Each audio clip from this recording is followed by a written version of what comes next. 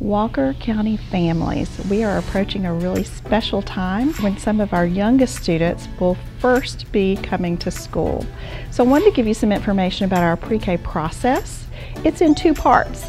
We have a pre-K lottery and students selected from the lottery then are invited to pre-K registration. Our lottery application window is March 1st through March 31st. And in late spring, after our lottery drawing, families will receive an email letting you know if your child is in class or on a waiting list for the school year. You can find the information on our Walker County Schools website, walkerschools.org, quick links, and pre-K information.